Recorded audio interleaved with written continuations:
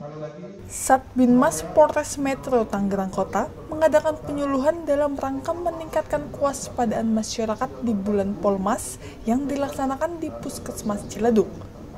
Giat penyuluhan tersebut turut dihadiri oleh kurang lebih 50 orang pasien puskesmas dan dokter-dokter serta tenaga medis.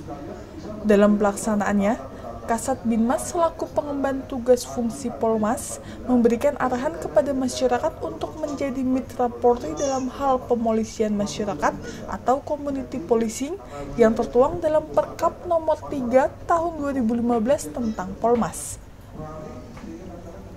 Konsep Polmas menggunakan sejumlah prinsip seperti komunikasi intensif, kesetaraan dan kemitraan, transparansi dan akuntabilitas, partisipasi dan menggunakan pendekatan personal atau pribadi ketimbang formal atau birokratis serta sikap proaktif.